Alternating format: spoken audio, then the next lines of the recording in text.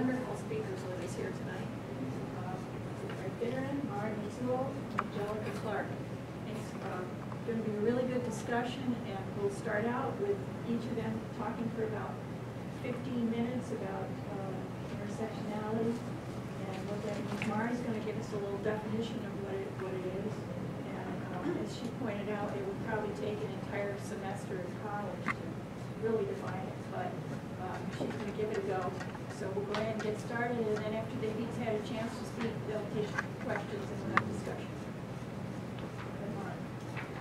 Hi, um, my name is Mari, and um, so yeah, like Tree said, basically intersectionality can mean a lot of different things. Um, I'm going to use it uh, in two ways. The first way is to refer to um, how, for a lot of people, um, they identify as being oppressed not just by one single system, but by multiple systems. So, for example, um, a black woman who identifies as queer is going to have to face oppression from sexism, patriarchy, racism, homophobia, multiple different, um, you know, systems of oppression.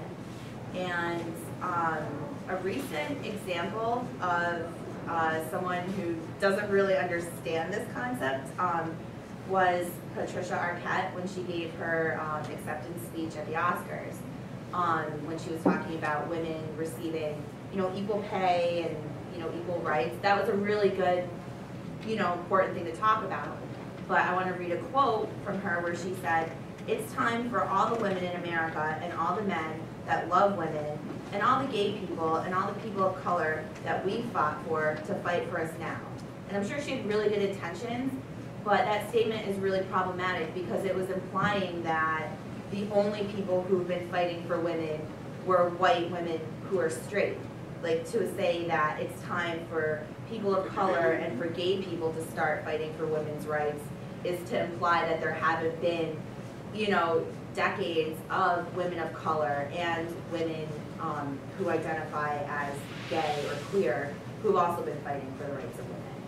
Um, so I think it's really important to recognize that just because a certain group may not look or live like you doesn't mean that they're not also fighting for the same things or even fighting for your rights. Um, so uh, Audre Lorde said that there is no such thing as a single issue struggle because we don't lead single issue lives. And a lot, we all as activists usually have like one or two issues that are the most important to us that we focus the majority of our attention and our efforts on. Um, but intersectionality kind of helps us realize that some of these issues, you know, we may frame as anti-war or environmental or, you know, anti-racism, but they really actually um, can be applied in a much broader spectrum, and there's a lot of connections that can be made with other groups and other activists who may, on the surface, appear to be focusing on different things. Um, so a couple examples I would like to use are, um, you know, a lot of us, you know, may focus either on stuff that happens domestically or stuff that happens overseas. But a lot of these issues actually have really strong connections, um, you know, domestically and foreign. So over the summer, I'm sure everybody here knows about what happened in Ferguson. Um, and one of the big things that we saw was police being very violent, using weapons, using tear gas against unarmed protesters. And I would like to make the connection between some of the, um, you know, military reactions on the part of the U.S. police and connect that to the fact that these same companies that supplied tear gas to the Ferguson Police Department, they also supply tear gas to the regime in Bahrain, who uses tear gas against peaceful protesters there, and to the um, Israeli occupation, who uses tear gas against Palestinians. And you actually have activists in these Middle Eastern countries reaching out to Ferguson and saying, you know, we realize that, you know, we're going through different struggles, but at the same time, we're facing some of the same things. Like we get hit with tear gas too, and this is what you should do to help, you know, your eyes not burn, and this is what you should do to make sure that you don't get, you know, um, too sick from breathing this in. And so it's like making connections like that between people we might not automatically identify with. But if you, you know, just like look beneath the surface a little bit or try to reach out to some of these people, the connections are definitely there. Um, or another example that I just kind of recently became aware of is there's uh, an Israeli uh, military and weapons manufacturing company called Elbit Systems, who manufactures and plays a big role in the military operations in the Palestinian territories. But they've also been signing contracts with uh, the Department of Homeland Security and our government to start militarizing the U.S.-Mexico border. So um, in some of these instances of oppression, it's not just the governments of certain countries that are, you know, the U.S. government supporting, you know, police violence here, and then also in countries overseas, but also some of these um, international corporations are, again, targeting Americans, and they're also targeting, you know, innocent people in other countries. Um, so another um, example, I personally, I focus a lot on the whole issue of Israel and Palestine, so I kind of use that to illustrate a lot of examples. Um, another recent example was uh, there's a Mexican farm worker in Washington State named Antonio Zambrano Montes, who was throwing rocks, um, you know, in the street and threw some rocks at a police officer and got shot multiple times and killed. Didn't have a gun, didn't have a weapon, but he was throwing rocks. And again, that's something that happens all the time in Palestine. You know, even kids get sentenced to like six months in jail for throwing rocks. And so it's just like we see this extreme overreaction on the part of security forces and police forces against unarmed people or people who, you know, may have been doing something questionable but definitely did not deserve, you know, to be killed over it. Um, and so I think it's really important to realize that it's not just us that these things are happening to, and it's not just the Palestinians that these things are happening to. It's, you know, we're all kind of being targeted by the same like extreme militaristic mindset um, of the state security systems. And uh, the other thing I wanted to touch on is just this concept of the dehumanization of the other um, where the you know systems of power and oppression really try to influence public opinion to see certain groups of um, you know minorities or people of certain beliefs as more inclined to be violent or you know uh, criminal. So when we have um, teenage black men in America um, you know, just walking through the streets or, you know, just in their own neighborhoods, there's a tendency for police and for society in general to be like, oh, well, this is a young black man. He's probably a thug. He's probably a criminal or a drug dealer, uh, up to no good, a gang member, and that makes him very much more likely to be targeted for, you know, violent policing, overreaction, you know, he reaches into his pocket, oh, he must have a gun, and the next thing you know, it's another unarmed person getting killed. And at the same time, we have the US military in a country like Yemen, where any teenage man you know, Arab man is considered to automatically be a militant. And so that means that they can be targeted for detention or interrogation, rendition, obviously drone strikes. And so, at, while, you know, there's obviously big differences between police officers in America and the US military overseas, it really comes down to just like the labeling and overgeneralization of an entire demographic group as a means of using it as like an excuse to violate their human rights and their civil rights um, and perpetuate these acts of violence against them with no accountability whatsoever. Um, and like in the same kind of uh, you know area, we also see like blaming of the victim instead of holding the you know oppressors and the systems of power accountable. Um, you know, we have something like again with drone strikes when Abdul Rahman a 16-year-old American citizen, was killed by a drone in Yemen when one of the few journalists who actually confronted the Obama administration about this asked them why this happened, their response was, well, he should have had a more responsible father. So, um, you know, over the summer, a 12-year-old named Tamir Rice was shot and killed in Cleveland because he was on a playground playing with a pellet gun.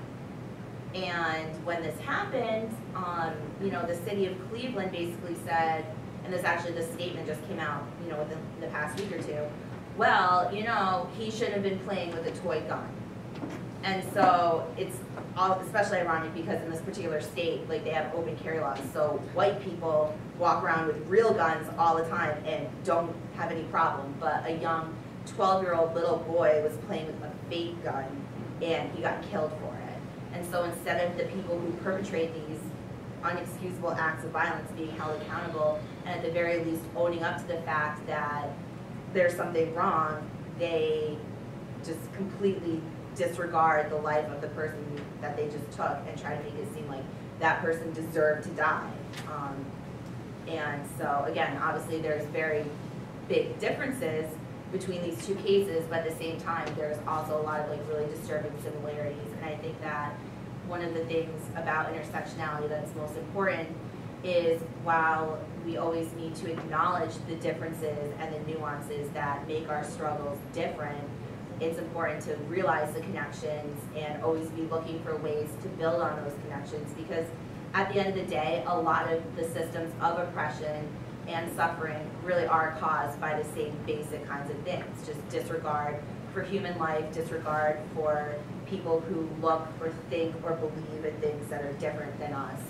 Um, especially, you know, people who aren't white, people who don't have um, a lot of economic resources, um, people who are the most vulnerable. I think that um, intersectionality really just comes down to finding ways that we can all, um, you know, use our similarities to strengthen and learn from each other and build uh, stronger movements. Um, so, one last thing I just also like to, you know, remind everybody is that when we are looking to reach out to other activists and other movements, it's always really important to give priority and respect to the wishes of those that we're trying to help. So instead of coming in and being like, hey, okay, I have an idea and this is how we're gonna save you guys and I think we should do this, this, and this, it's really important to engage in dialogue and actually, you know, let these people be the leaders of their own movement and ask them, what can I do to help you? And if you have an idea, like, I'm not saying you shouldn't, you know, contribute your idea, but it's always really important to kind of let them remain in the lead. So if you're a white person attending a Black Lives Matter rally, it's really important, instead of coming in and being like, oh, I think we should do this, it's important to listen to the black people there. And when the media comes, instead of being like, oh, I want to talk about this, you should let a black person talk about this because they're the ones who are being the most targeted and the most oppressed. Um, so, thank you.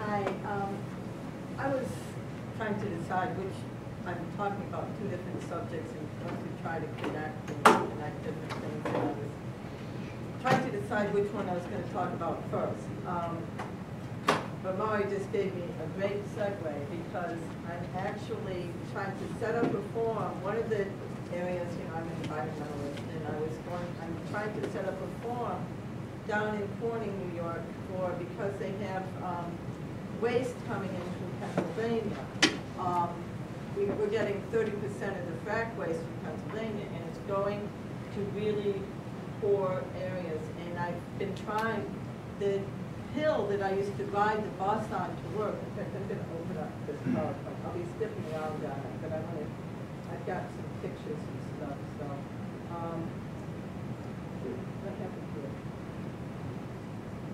Uh, what do I work with? Do I hit it? There. So, and I want to, got, so I grew up in Painted Post. You can go up to view and do a full screen if you want to. Um, no, not yet, because I'm gonna be able to find the slides over here. Well, Okay, we'll do, do it. So, um, Manning Ridge Road is, which is right here, was my favorite bus ride as a kid. It was a great, it's beautiful, beautiful view. There was a really, I think it was probably an elm. I was little, and there was a great big huge tree that I used to see right over here on this ridge. this actually goes way down. This is like a ridge and this is, comes down into a valley and there's a Frog Hollow Creek right there. Um, as I talk about Painted Post, I, my language gets more and more head, because it's based on where I grew up.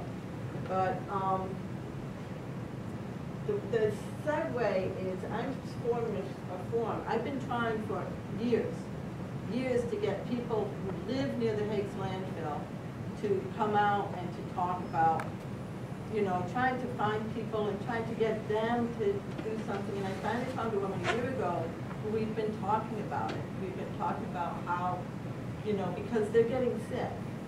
Um, and this, and so I tried to set up this forum for them, and I'll get into more about that. But this is the segue. And these other people I know who are all about decolonizing everybody and getting radical movements going, and, and I am too. But they want to do it, they want to kind of, these are my friends, these are the people I work with, and they kind of want to co-opt this whole thing that I'm just trying to get these people together to start talking. I want the conversation to start with these people who are being impacted. And there's three different waste dumps in this area. Um, in, there's, um, the Highland landfill, which is in Allegany County, the Hakes landfill, which is the one I just showed you, and the Chemung County landfill.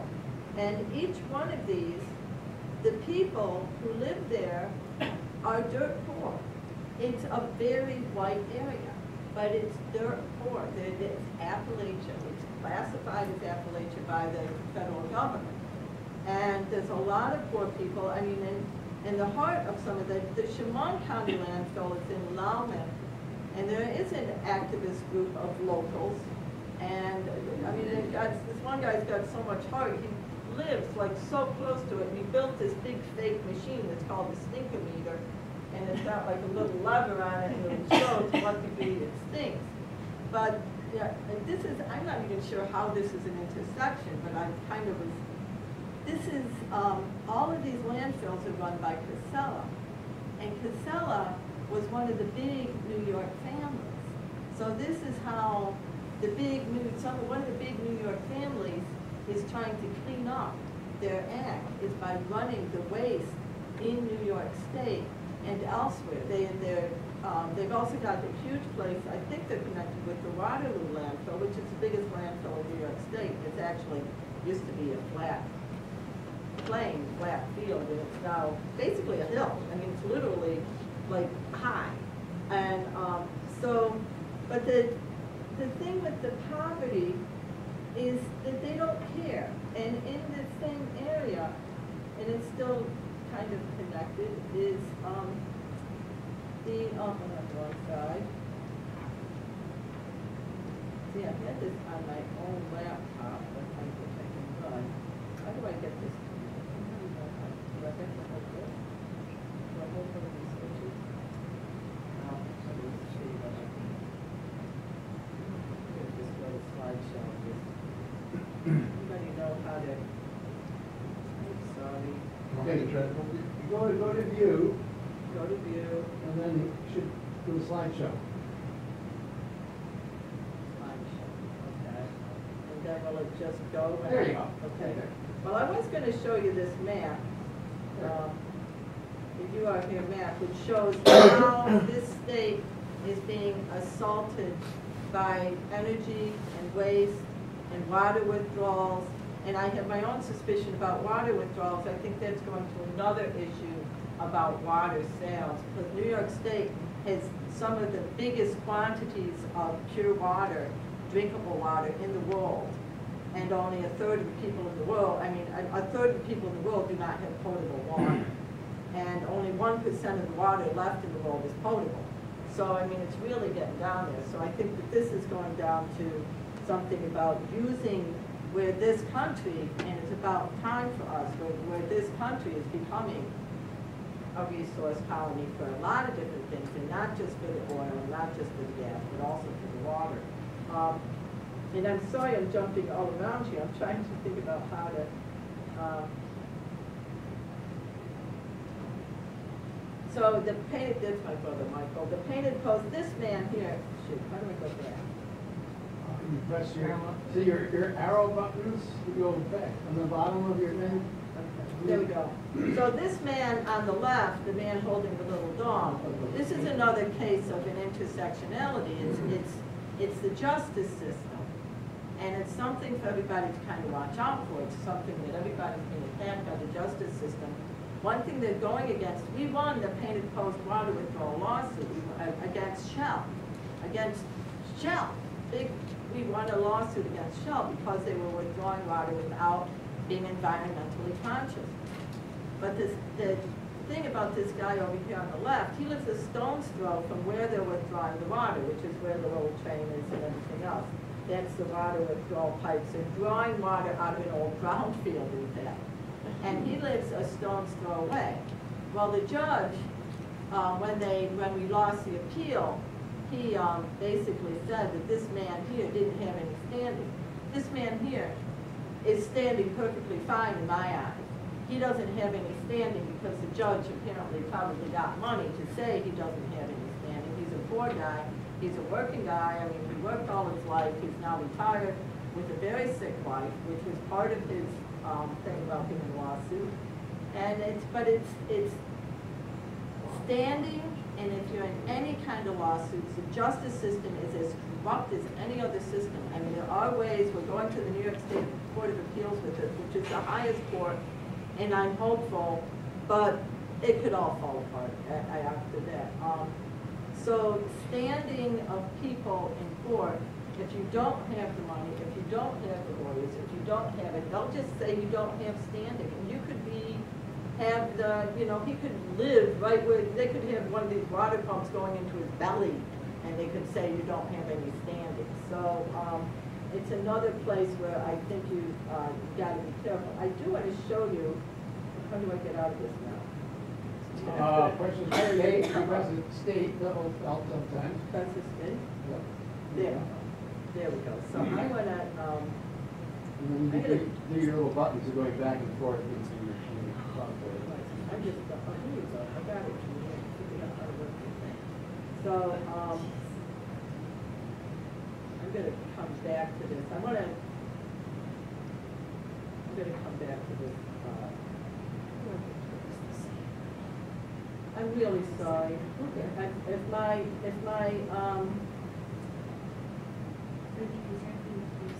if I, I lost my connection for my computer, I, so I have, I- it's the Ellis Brody conflict, I don't have the connection my MacBook, so I'm gonna get a regular, uh, computer here. Um, I wanted to show you this map, because it's, it shows all the different places where, you know, New York State is being impacted. In one place, and I don't know if people even know, is the NED pipeline, which is gonna be going right here to Delmar, um, or New Scotland, and it's a pipeline that's gonna, gonna take all the crude oil out of, um, or all the natural gas out of this country and move it to export. But they're going to be putting a ninety thousand horsepower compressor station in Nassau, um, in Rensselaer County. And the mini sink is twelve thousand, and I was down there, and I was an eighth of a mile from that, my eyes were, uh, were really stinging. And I started to cough, and my one friend Billy was getting sick. So ninety thousand is just, um, this, I just want you to look at this, because each one of these different things is how all of the college stuff going on in this, in this state is still going on. It's not including the, um, not, I, the bomb trains aren't on here, and that's still another whole other thing. And that's something else that goes into, I'm gonna segue away from this whole thing and get into education.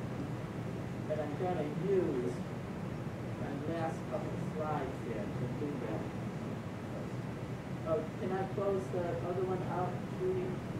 Um, So the last two, couple of slides here, I love this slide because we had, Nate Frank McFarland, we had a cop car right there. This is Sam Seaborn, he's a great guy, runs radio, on the Littleton radio station, and does a whole lot of stuff, keeps trying to fight everything down in Athens. Athens, um, compressor station, and Athens Gen, Athens Gen is run by PS&G, which is another big power company. But the thing is, all of, this is in my school district. All the parents are connected to all of this infrastructure going on down there. So I have to constantly be careful. It's another way I'm being addressed because all of these people really want the gates and they really want the power and they really think this is all good for us. What's going on in the education system, and we were talking about how, you know, Coxsackie is a really strange place. You've got Athens, it's got the power generating plant, they've got a compressor station, Iroquois compressor station. They've got bomb trains going through all, all the time. The bomb train is an eighth of a mile from my school. So now we've got the whistles blowing, and I asked, I surveyed the school, uh, the teachers, and about one in three even knew of the existence of bomb trains. One in two, uh, one in two saw the news about the West Virginia explosions, but the people there, they just don't even know because the teachers are exhausted. I mean, it's just, we're worn out, and it's all part of trying, they really are trying to destroy the school system, and I honestly think that my district is a petri dish. It's a petri dish to try to destroy us so that they can bring in charter schools. We have somebody from Tech Valley coming and teaching us computer, uh, curriculum leaders, most of us who have been teaching more than twenty years, how to teach the way that they teach. Now, that school is not it's a charter school, and they're trying to get us to do it their way, probably to justify their existence. Their testing, the testing is out of sight, it's just, they want to test everything, it's not so bad in the high school, the high schools always had testing, but now they want us to do other tests. But the main thing is this, uh, um, evaluation, they're watching us all the time. It's in the APPR, which is how they evaluate us. Used to be the principal would walk in, he'd write down stuff, he'd have a really good talk, he'd say things. Now, before you get evaluated, you have to spend like two hours filling out one form, make an appointment to go see the principal, talk to the principal about this form for forty-five minutes, then go back and readjust and rewrite, read what he says for another couple of hours. And this is twice a year that you have to go through this process. Then after you've been evaluated and you sat down with them, you have to write all this stuff that you agreed with or didn't agree with, which a lot of it is just plain old BS. And teachers are exhausted. They're really exhausted and they feel, you know, when our new principal came in, he says, there's no joie here, there's no joy at all in this school district. We're just totally, I mean, it really is oppressive. Um, and, you know, the kids, they keep saying, we, well, let the kids teach, the kids should be teaching themselves. They are trying to destroy the kids' ability to learn.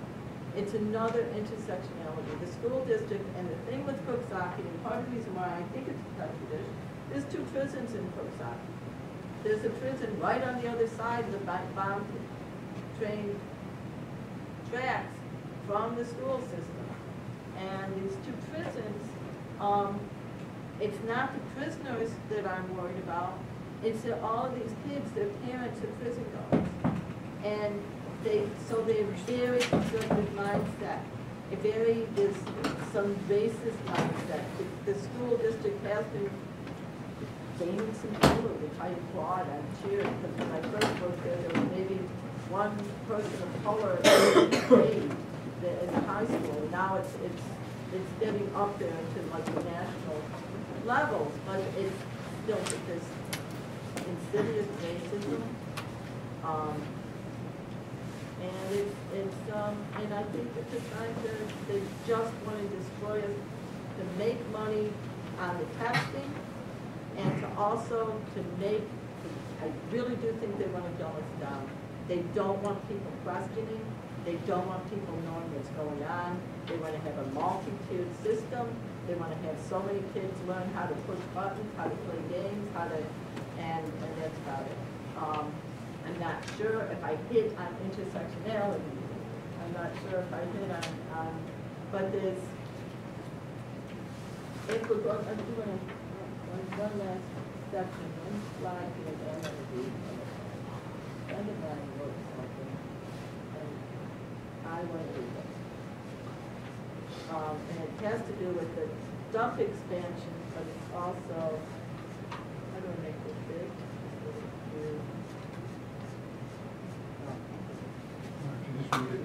Okay, the county legislatures, or the Chemung County Legislature, which is where the one, the Lowman dump is, have permitted dump expansions, um, in, for PA waste. The people were going there, the poor people were going there every single month to the county legislature with all kinds of, all kinds of information. And they were all listening very, very, very closely. And people were honestly thinking that they were getting something. It's kind of like the people who were going to, you know, who go to some hearings or whatever and think that they're getting someplace. After a year of very polite, this is happening, my wife has got cancer, it's directly related to this. After a year, they just voted for the extension. It's, it's, they said they're getting money. Um, it's a new low in our so-called democracy. We, it doesn't matter. It doesn't matter about the lawsuits, it doesn't matter about going to hearings, it doesn't matter that the regulatory system is, the laws, the regulatory laws are written by industries. Um, and all of, and all of the laws are written by industries. The educational laws are written by the profiteers. They're not written by educators. They're written by Bill Gates and his, and his friends. They get in there, um, and, um, until we understand how and why this is happening, until we challenge laws written by corporations, passed by compliant, compliant legislators, and enforced by regulatory agencies and other agencies, all the governmental agencies, we'll have no democracy. And democracy is what we have to fight for. We have to stop asking, we have to start demanding, we have to realize that everything they're saying is to one goal, and that is for their power and their profit. And that's what we have to start fighting, and that's the interconnected system. When they're destroying these people, when they're destroying what, what they want in Palestine, they want the control of the water, they want the control of the people, they want the land, they want the, the money from that. It's, it's all over the place, not all over the place, all over the place. Um, Now, we can make a connection. Yeah, no, actually, uh, I might sort of switch a little bit what I was gonna, um, talk about, just to make it all come together. Um, I actually, I think that that, the, the story of sort of the Coxsackie in that area is like a- actually a, a very good, um, example of sort of when you're trying to tell a story of intersectionality, like that's a, that's a perfect story about it, right? Like it's a, it's a region that's dependent on prisons for employment, prisons and, um, you know, fossil fuel oriented industry. Um, which I, which that sort of is a, is a great picture of how, um, you know, how people who are poor white people are, are sort of tricked into, um, supporting the needs of white elites. Um, and just from sort of that basic benefit of being able to be employed in the prison system and also having lost all other industries that they were a part of um, before those industries were, were taken from them and, and replaced with extractive industries like uh, oil or, or any of the other um, any of the other ones. Um, so that's sort of what I'm going to talk mostly about. Um, will be about uh, sort of the prison system in the United States um, and how using um, intersectionality as a as a lens to look at that is really useful when trying to envision a world beyond the prison system. Um, so the U.S. I'm sure that most people here are aware that it incarcerates right now about two and a half million people, um, is 25% of the world's prison population. Um, and and we, we're doing that while also being sort of the, the global imperial power that's also engaging in wars in multiple countries and often using some of the same tactics um, in propping up other military regimes across the planet as we do um, in either enforcing the rules in our prisons and also on the streets with police.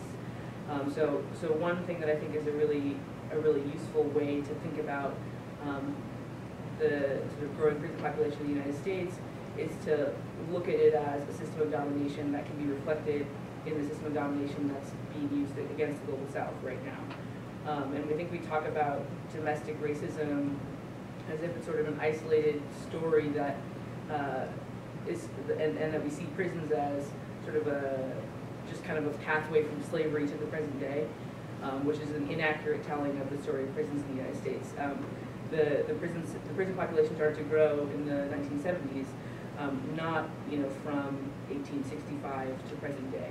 Um, for a long time, the prison population here was pretty stable at about 250,000, um, which would be sort of comparable to other nations. Um, but that changed, right? So that changed when, um, when we had the passage of the Voting Rights Act, Civil Rights Act, um, and then suddenly you have a, a new set of people who are allowed into, into the economy, into your universities, into sort of every area of social life legally. And now you have to find a way to mitigate that, those people being allowed into that, the people of color, black people in particular, but also uh, Latino populations, Asian populations. Um, so really, the, the prison system is as a, uh, exists now as a response to that, not as just a direct reflection of slavery. Although, um, in a lot of places in the country that are former slave states, prisons do look a lot like plantations, and often they are former plantations, like Angola, um, and, you know, prisons like that, where it literally it's sort of the, the people who are, who are the prison guards are on horses, they carry whips, um, you know, all those direct reflections of the slave system. But now it's more so about dealing with the people who exist in the economy as guard labor, people who aren't really um, employable, people who are sort of either they don't have technical training or there just simply aren't jobs available for them. Um, you know, suddenly we have a place to put them, and that place is prison. Um, and and we have to, I think, think about that in connection to uh, the the militarism that we engage in globally. Like we're also enforcing our sort of economic system, the system of capitalism in the U.S. Like we're enforcing that through a militaristic police force that then puts people in prisons and keeps them there really. And, and if they get out, they often cycle right back in. Um, and I think it's important to, to when we talk about uh, sort of militarization of police, which I think is, is right now is kind of a, a buzzword that people are saying often, um, it sort of erases the fact that police have a militaristic nature to them at the very beginning, simply because of their history. As sort of in the United States, they're meant to enforce um, sort of the color line in a very, very, very specific way, as coming directly out of um, you know slave patrols in you know sort of in the in the 1800s in the U.S. Um, and and that that connection I think is is a really important one to make, so that we don't we don't mistake when we're like sort of building our movements and, and creating our you know grand narratives about what what work we need to be doing that we don't paint a picture as if um, the policing that was going on before this new uh, wave of militarism where we have decommissioned uh, pieces of military equipment coming back to the U.S. or never leaving the U.S. and being given to police forces um, as if this is the moment what, that they started to militarize and that they don't have a militaristic nature to begin with. Um, I think that, that that for me is a is a very important um, thing to think about when you're thinking about the, the prison system that we have now and, and what we would like to move beyond. You know, and I think that at least for myself and, and a lot of other folks, that we'd like to see a world beyond prisons, particularly in the United States beyond prisons. Um, and the only way that we can do that is if we if we take a clear and historical picture of what uh, what policing is in, United, in the United States, like what the purpose purpose of it is. Um, and and one place that I that I like to look to for that is uh, Angela Davis book, Are Prisons Obsolete? And that sort of tells a story of uh, prisons in the U.S. from sort of when people started to come here, uh, people from Europe started to come here versus now. That story of prison, that's a, meant to be a rehabilitative place where you go and reflect. Um, but it was essentially the foundation is a religious one. Like you go and you spend time reflecting and reading the Bible and doing hard labor, and that will help you to overcome uh, whatever you know mistakes that you made. Um, that now you'll be, and then you'll be welcomed back into the world now that you've been rehabilitated. And that was a prison, those were prisons that were for white people who were also in the classes that were accepted at the time. And now we have prisons that we've corrupted that idea, and now we have prisons where the people who are in prison are dehumanized. So we have the same idea about rehabilitation and, and solitary, you know, time spent alone that's now turned into long-term solitary confinement, um, which is, you know, the UN is sort of clear, it's clear that that's torture.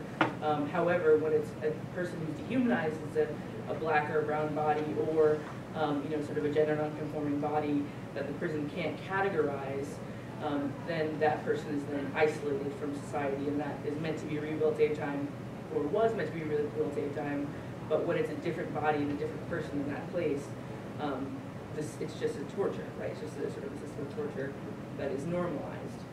Um, and uh, I think that the, the usefulness of putting it in the context of the global south and sort of the struggle for liberation that those people are engaging in is that we can then view the struggle against prisons and against violent policing as a decolonizing struggle. Um, so as a, as a struggle for people, particularly black and brown and indigenous people who live in the United States, to liberate themselves from the system of white supremacy. And that sort of as a lens um, lets people understand more clearly what sort of what you're up against, right? Like you're, when you're when you're thinking about um, laws that specifically target black and brown people in the U.S., um, oftentimes we can kind of get get caught up and say that oh, this is a, this is these laws are targeting poor people or these laws are targeting you know um, you know these very specific populations, but but it sort of is required to say that we're existing at a particular time with a historical context, um, and it's through that context that we can really understand what steps need to be taken to move forward. Um, and, and that sort of, to me, is, is the, is the value of thinking about it as decolonizing, is that you have to look at the black population in the United States and Latino and indigenous population as colonized populations, and then move from there as internal colonies existing in the United States. Um, and then move from there. And then you can look at the lessons of, of, of folks abroad who have liberated themselves, either thinking of things like, right now, the, the, uh, the sort of struggle in Kobani for decolonization, or any of the, um, any, any of the places in Chiapas, or any places where, where folks are currently existing as liberated from the colonies that they're, that they're living in. Um, that's a place that you can then look to for lessons when, when you're working and building a movement.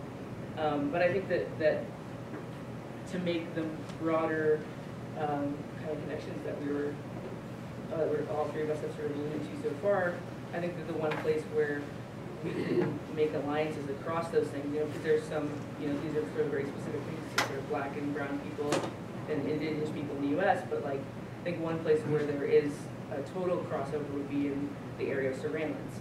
Um, the prison system is a system of mass surveillance. The slave system was a system of mass surveillance. And the standardization of schools is also a system of mass surveillance. Um, you know, so I think that, that that's one place where I'd be really interested in, in um, sort of further conversations about how we can use that connection as a way to build across our movements, about thinking about how we can challenge the surveillance state, which is really now the global um, surveillance state, but also is very is also very specific and localized in the different areas that it's happening in. Um, but I think in, as a general theme, um, could be a useful place to, to start that that kind of conversation. So yeah, I think that's I think that's it. For,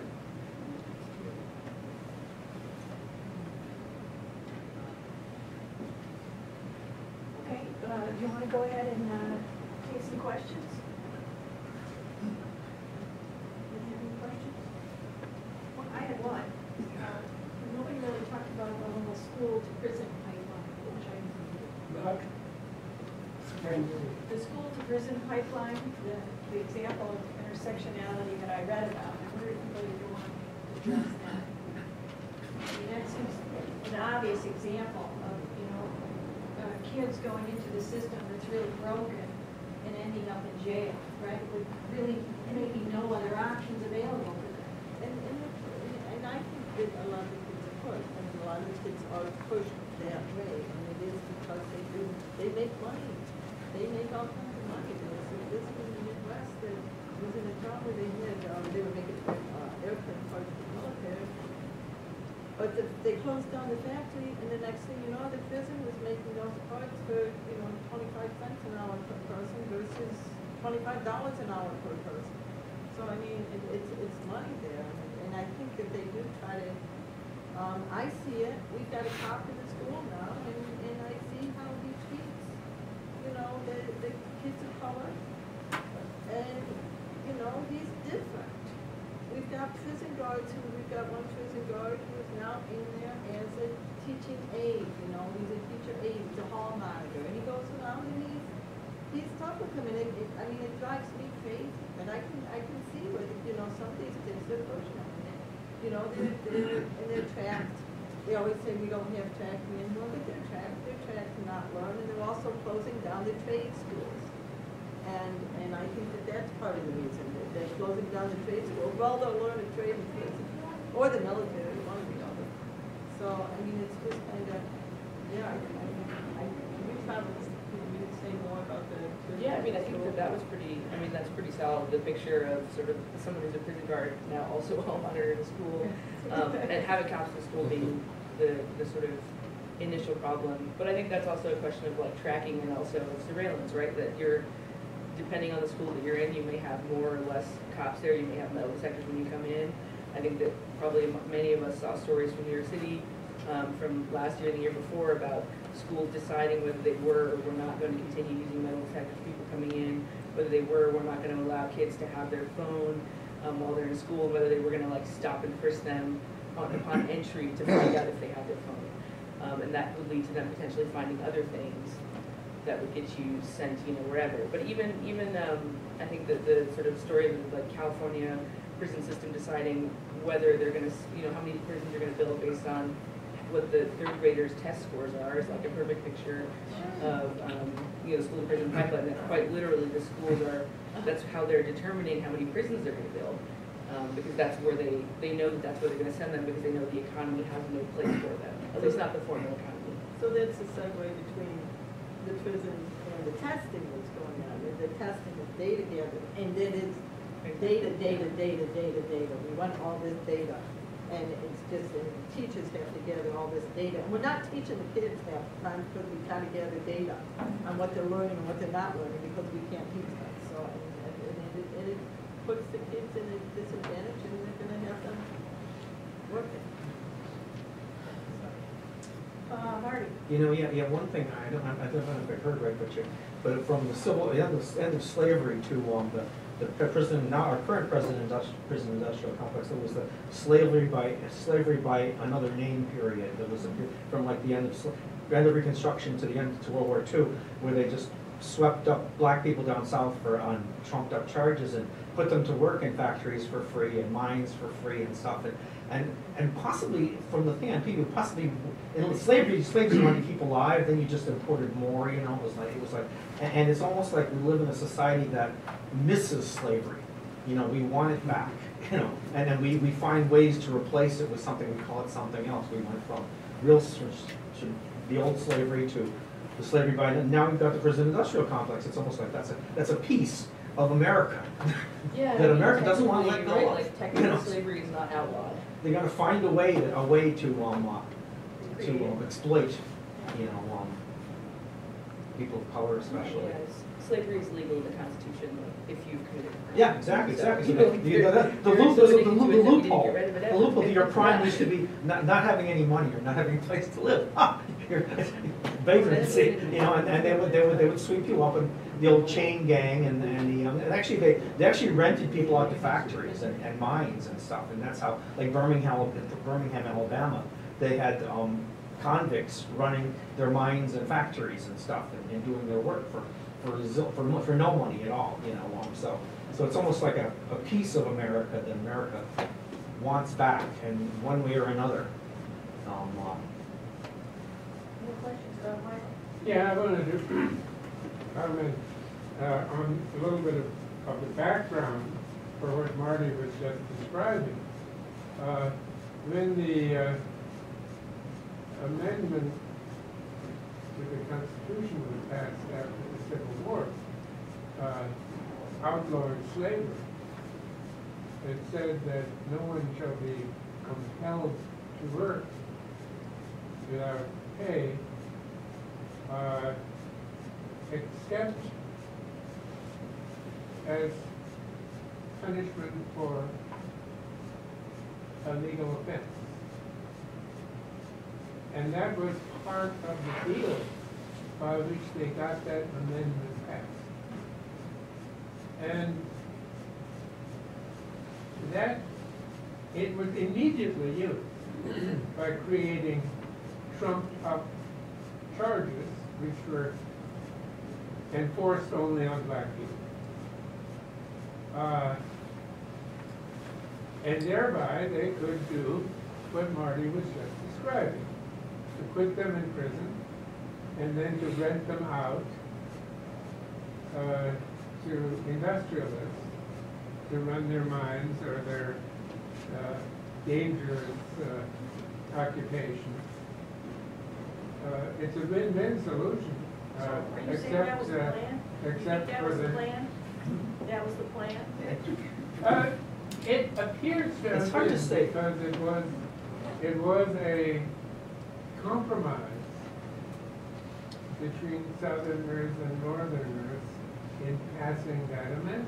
And maybe on paper it sounded reasonable, you know, okay, you committed a crime, you have to pay back, you know. have to But, but the crime, but you have to, but, but then, what was the crime?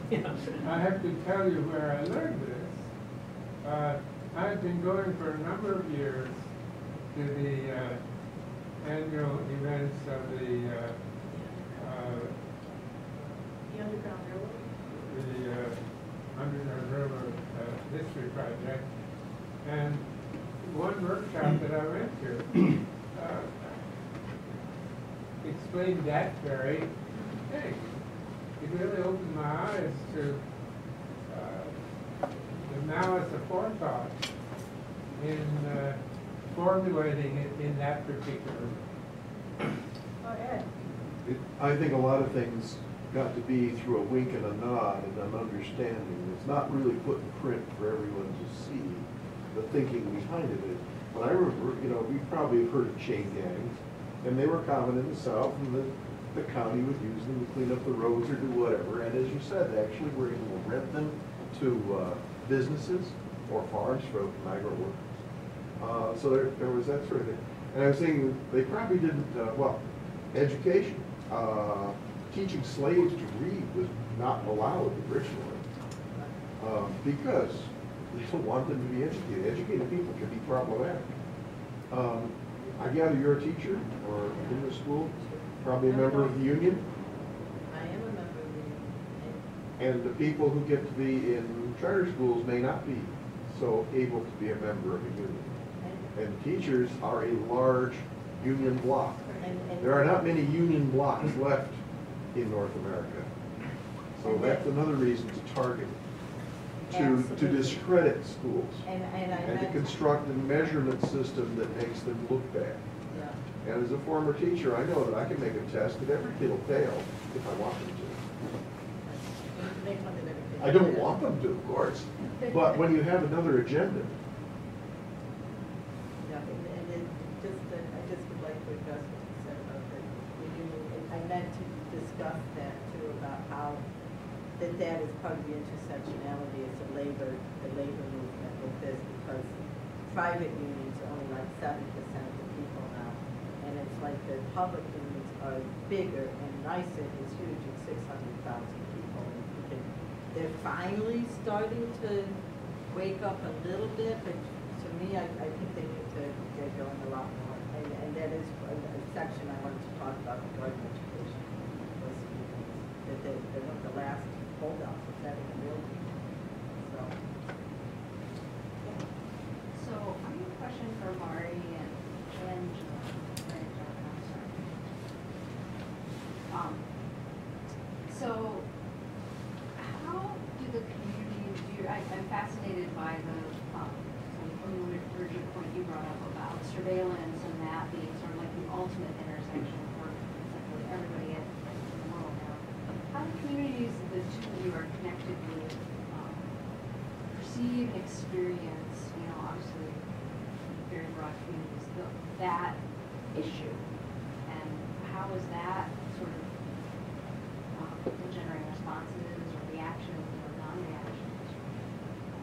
Um, well, I mean, I think, you know, generally speaking, I mean, most Americans, and I'm probably most people in the world, but specifically talking about America, um, most of us, whether we're, you know, political or just so-called average American citizen, is under some degree of surveillance, as we've seen by like the Snowden leaks and all these other things that have been coming out, you know, government surveillance of emails and phone calls and things like that. Um, on a more specific level, um, you look at, again, political activists, people engaged in completely legitimate, nonviolent dissent being, um, you know, subjected to everything from, you know, FBI agents trying to infiltrate activist groups or, you know, definitely being placed on, you know, multiple Homeland Security watch lists or things like that. You can go back to the COINTELPRO days where, you know, the government was trying extremely hard to sabotage people and ruin people's lives, scare them out of, you know, being politically engaged. Um, one community that I'm, again, kind of aware of is happening, I don't, I, I'm not Muslim, but I do work with, um, a group called Muslim Solidarity Committee and Project Salam. And so that's really helped me become aware of how post 9/11, um, the government has engaged in extreme amounts of surveillance against basically the entire Muslim community, whether it's, you know, sending NYPD officers to infiltrate mosques for no legitimate reason other than the fact that they're a mosque, or, um, again, just trying to approach random Muslims and try to kind of, you know, push them into becoming informants within their own community, um, and using, trying to get them to engage in surveillance against their own religious, um, you know, religious families and religious communities, things like that. Um, and then again, on a more international level, um, I think it's some of these same security companies, like something like, um, I don't know, like Stratfor, that, you know, helps with, uh, you know, surveillance here, but is also being used spy on, you know, political activists and general populations overseas. And you have the collaboration between the NSA with things like the British version, which is the, the GCHQ and things like that. Um, so I think it's really just at this point, most people in the world and in America are under some degree of, of surveillance. It just really is probably like some more than others. Like again, like more people who are politically inclined or people who are minorities, religious minorities, or live in certain areas. Yeah, I mean, I would definitely, um, I agree with all that, and I think that, that beyond that, um, folks who are formerly incarcerated who are out on either parole or probation are also, you know, experiencing surveillance in a very specific way where they have to report their activities and, um, you know, sort of curtail their activities based upon the requirements of that surveillance. Um, but I think in terms of just like on a, like in a, in a, on a more like personal, interpersonal level in terms of conversation and like whether this has been engaged, um, I think that at this point now, every, you know, every person is aware that some, that some level of surveillance is going on. Um, and I think I'm actually, like, I'm, this is something that I'm relatively recently interested in, in terms of like actually bringing that conversation into the, at least into the sort of anti-mass incarceration, um, community here, and trying to talk about, you know, what the implications are of this, of this level of like global surveillance, which is, uh, you know, which is, you know, that's another, that's basically another panel, but like, essentially the entire internet is tapped at this point, so anything that you do on the internet, um, you know, they can access, or anything that you do over your phone, um, they can access, so like, thinking about what implications that has for our movements, um, you know, is, is important conversation, I think, that just locally we, we need to have.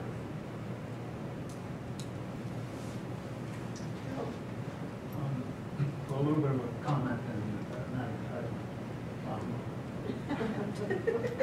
uh, One of the things, you know, I've been involved in the anti-war movement for many, many years. and was a full-time organizer during the Vietnam War. And it was clear the movements back then affected each other. The civil rights movement really um, taught people war meetings uh, active, what to do and war movement fed into the women's movement, women's movement, the gay movement, the rights movement, but they were separate.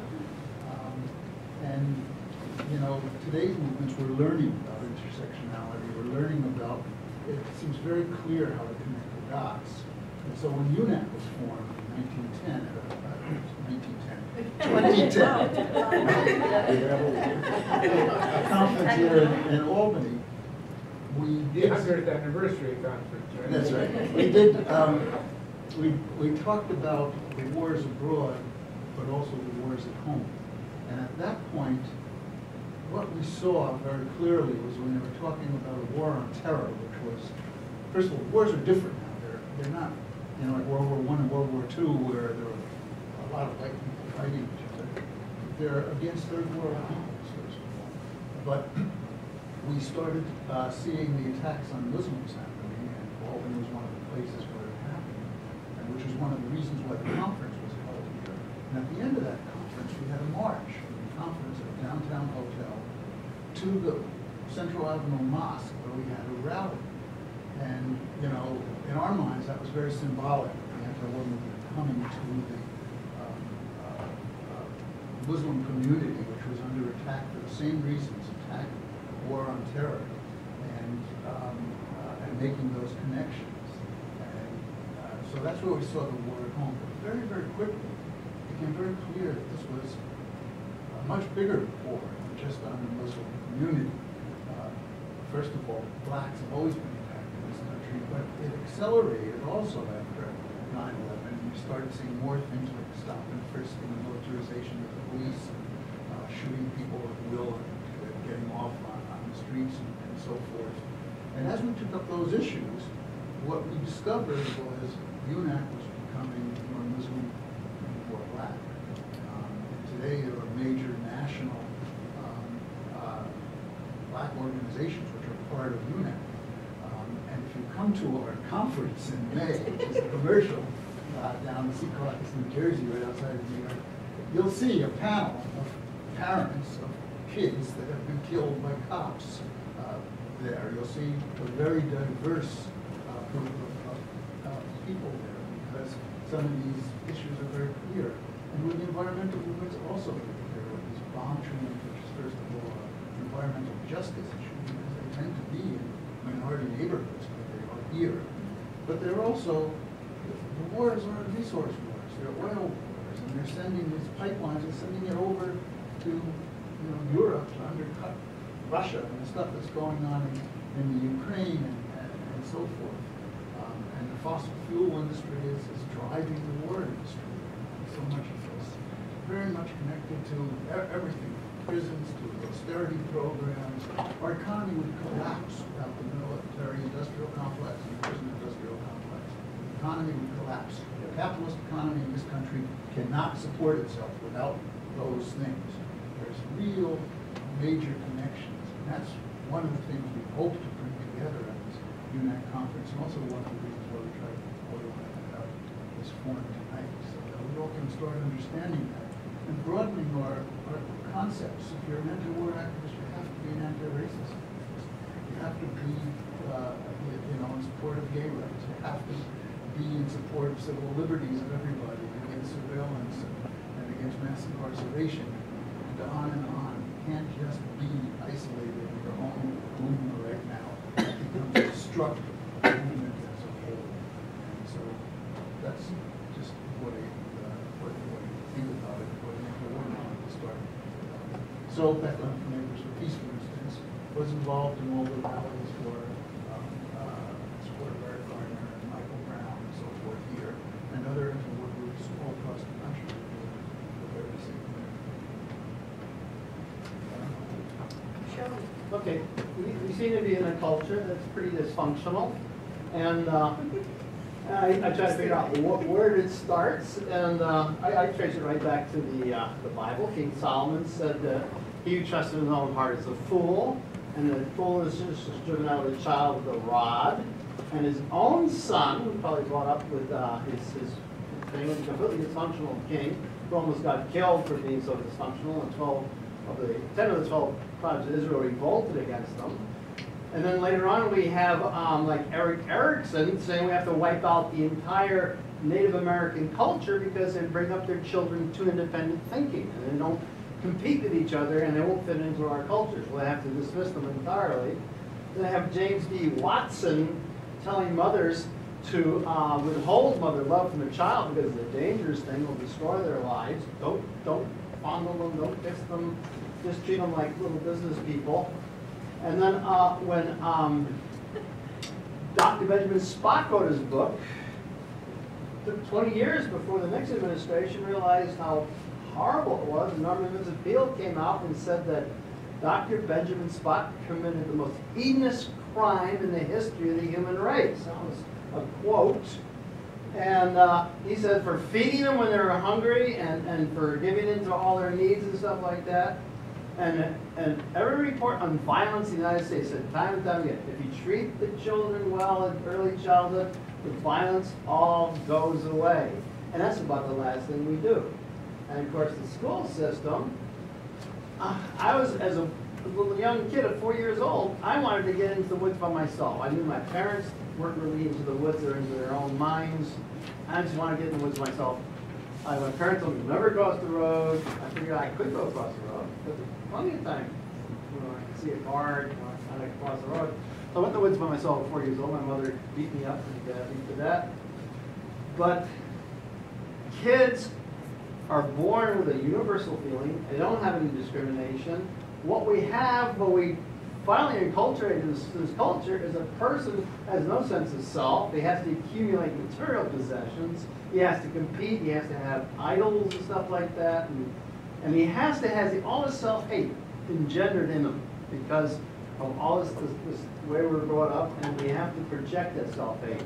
There was a great science fiction novel about when the Martians came to the Earth, and this black man said to his other friend, said, now we got someone to discriminate against. It's sort of like the, there always has to be somebody you got to. And of course, most people pick on children. Worst thing to say, oh, you're acting like a woman, or, oh, no, you're really acting like a little baby, you know. That's like the lowest of the totem pole. But my, my point is that once we as a culture realize our, our children are very sacred, stop treating them the way we treat them in the hospitals, bring them into this world with complete understanding that this is a sacred place, this world, you are a sacred person, and, um, and we're gonna transform this world fast. And that's my, my little piece.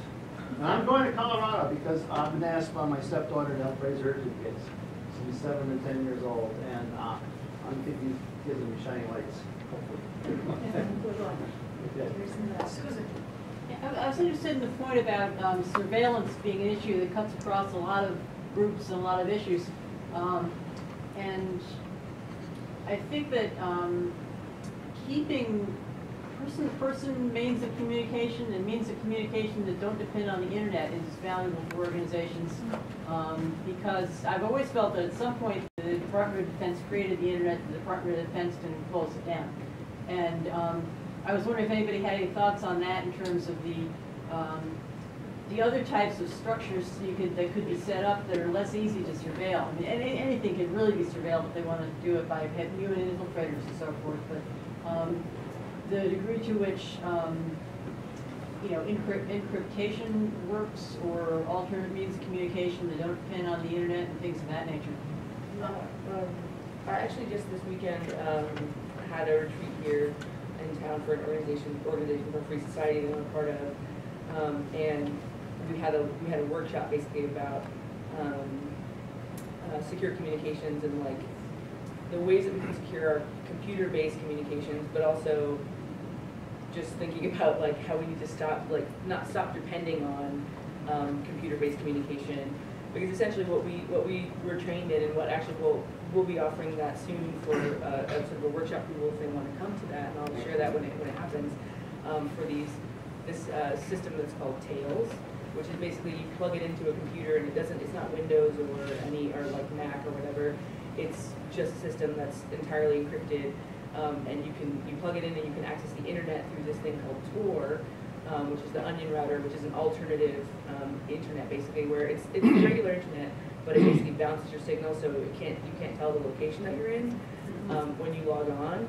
And you can to have secure chats, secure, you can sort of have secure emails, all those different things. Um, but one of the sort of most important points that were was made by, um, uh, the person who was giving the workshop was basically that like, the, the, sort of this, it was rooted in the story of Frederick Douglass about like the, the way that, uh, he taught himself how to read and write and how that is actually sort of the, the most liberating thing you can do is actually keeping your, keeping your own communications, like writing your notes down for your meeting, passing them around, not relying so much on the phone or on the computer and focusing more on the person-to-person interaction, um, like sort of the teaching of, teaching a lot of different people to read once you teach yourself how to read. Um, so trying to focus on what we know to be secure, which is a pen and paper and, and person-to-person contact rather than like trying to use technologies outside of paper and pen. I think it goes back to like they used to do the handbills, and I think handbills are really important for the communication versus, versus the internet. And Sometimes it- we have to use it, we just have to realize they might be watching. And it's like, part of, part of, I think, their thing is to keep us fearful too. So I mean, not use it, I mean, be very careful, I want to find out about this tool. Yeah, you're well, talking about. definitely, we're gonna, yeah, we're, yeah. Yeah, I'm coming, but, Yeah. um, but I think too, so many people, they don't do things because they're so afraid of it. It's like, look, they're gonna, they're gonna look, they're gonna look, they're gonna find ways, so. You just have to make that decision, like, what's, what's scarier, the fact that the government might be watching what I'm saying, or what could happen if people stop speaking out, you know what I mean? And I think that's something that, a choice everyone has to make for themselves, but I definitely agree also, like she said, just especially among the younger generation, everyone wants the technology and instant messenger and all these different social media, which is good and useful, especially if you're communicating with people who live out of state. But if you have the opportunity to sit down and have these conversations with people one-on-one, not only is it more, you know, secure, but I feel like you really just get that extra human connection that a lot of us, again, especially among, I feel my generation, we don't have as much, and I think that if you're really trying to build with people, it's just so much more powerful if you can just like sit down and talk. Um, or again, even just handwriting something is more personal than just that. Used to think it meant it was more powerful if the government thought, if you thought the government was watching you all the time, you know? And I used to say, well, they have to put an, then they can put an agent behind every tree and watch me all the time. Well, I didn't think they actually do that. You know, I was joking, you know, that they, they would, but the, but they have so much information now that, seriously, and, and, and if you, if it causes you to not communicate with each other, you're paranoid, then they, they have basically one, you know, they, they got you, you know, so, so screw them, you know, they, they wanna read my stuff, you know, or, you know, I'm at the point where, Right. I want to just touch on what you were saying about the, the human, the human touch, the human interaction and stuff too. It's, it's so many times, I don't know how many people on listservs or in groups where you do a lot of discussing on listservs. And some, and nuances are so lost that people get offended and people say things and it's like, that's not what I meant, but by the time you get there, you, you wrote something in the morning, by the time you get home, there's been this whole discussion about all this stuff, and it's, it's so, it's so non, I mean, telephones are better, I mean, conference calls are better, but it's still the one-on-one, and trying to get people to connect, and it's, it's kind of like you don't want to do everything Mindy and in my own backyard, and that's it, but sometimes the local connections, because you gotta, you gotta keep connected, you gotta, as much as we possibly can physically, so. Anybody that hasn't?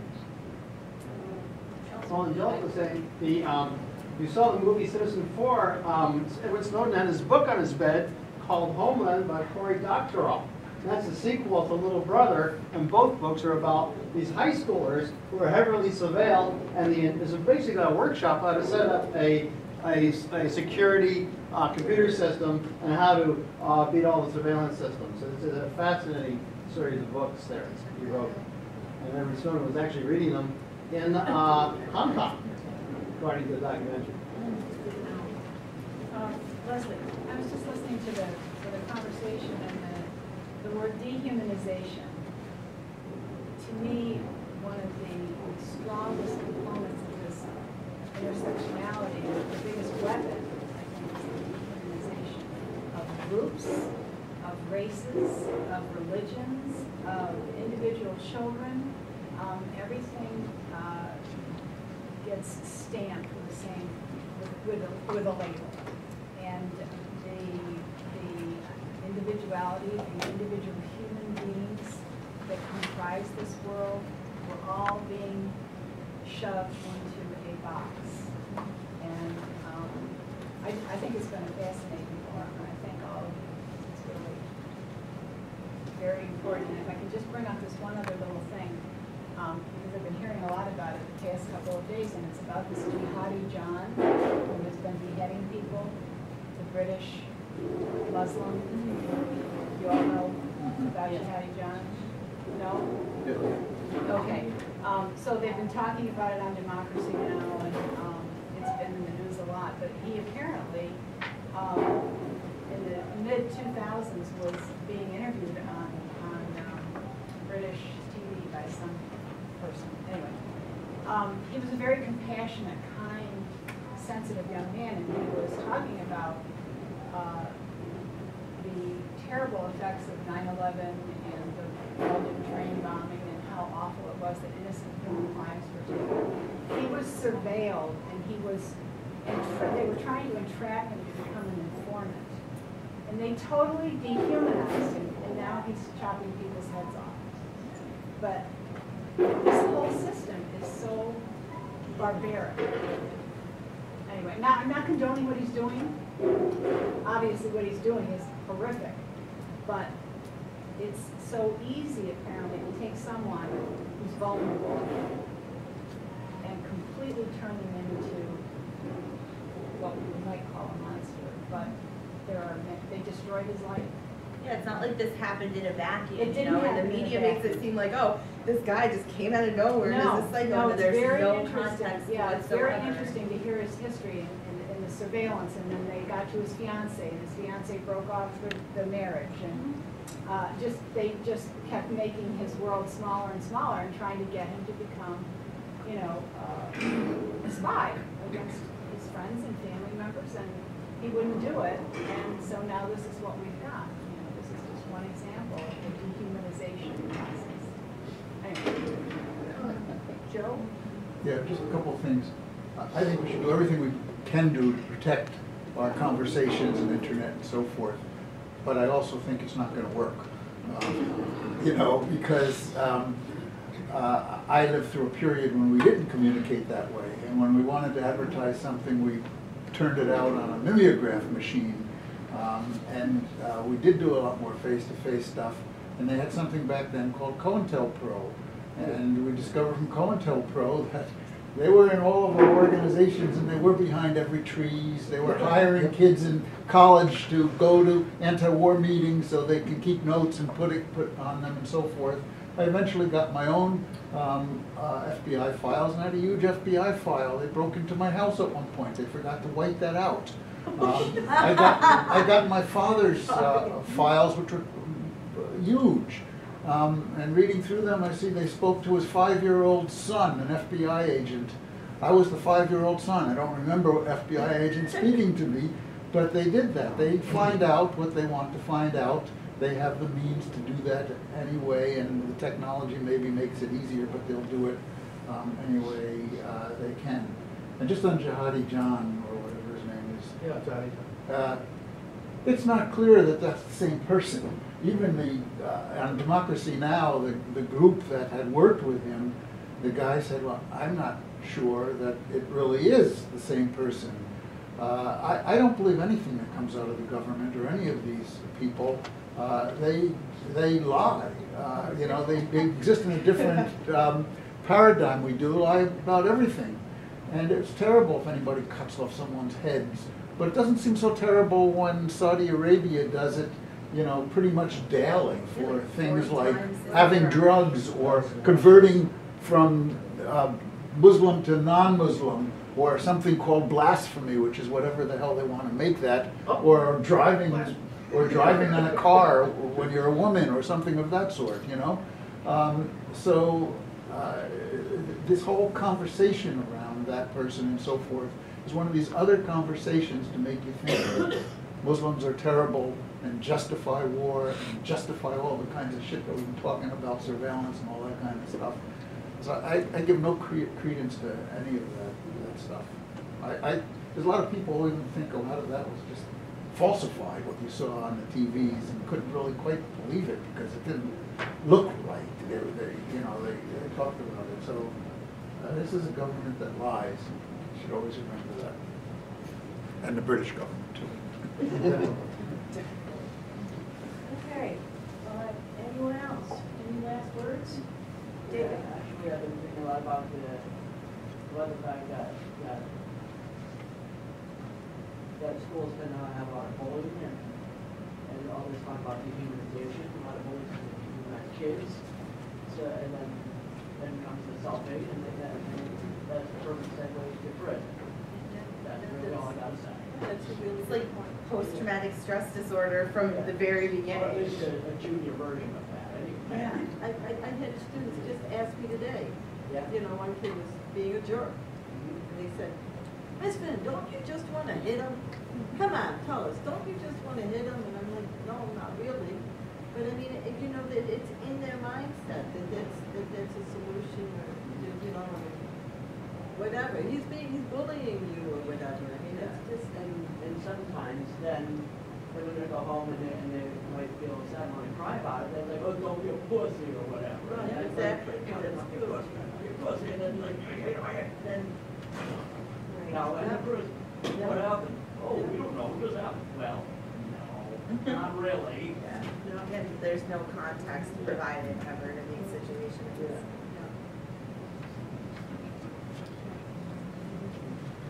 Anything else?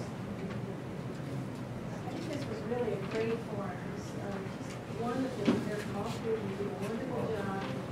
It's awesome. And, uh, Charles, uh, Ellie taped it, so it will be on uh, YouTube. So if anybody didn't see it tonight, and I don't want my friends cut out the part where I said my friends are doing things to my friends.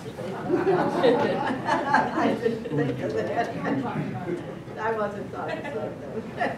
Thank you so much. Thank you. Thank you. Thank you all.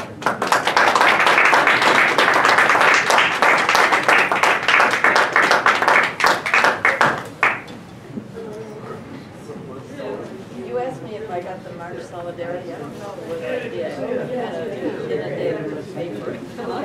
I know I was getting earlier,